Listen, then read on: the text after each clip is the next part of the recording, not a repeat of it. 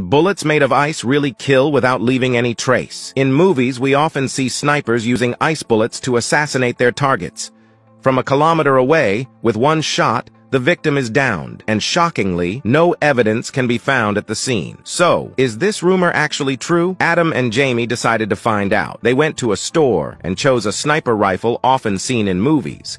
Now, to make the ice bullets, two aluminum plates came together to form the perfect mold. Adam and Jamie filled it with water and then placed it in a liquid to cool. Thirty minutes later, it looked very much like a real bullet, but the ice was brittle and difficult to extract. However, they eventually succeeded.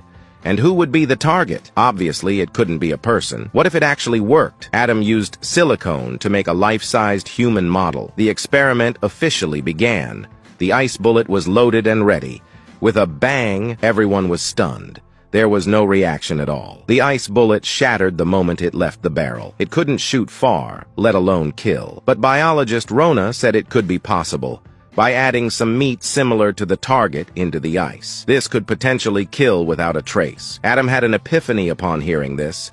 They immediately got some minced beef, molded it into a bullet head, and again placed it in the mold and added water to freeze. The frozen bullet was incredibly hard, seemingly giving the duo hope for success. With one shot, the beef bullet was fired. Upon close inspection of the dummy, its skin was smeared with beef residue and some unburned gunpowder. The ice had long melted. Clearly, such a bullet wouldn't have the lethal force to kill. Killing someone from a kilometer away is impossible. The rumor has been debunked.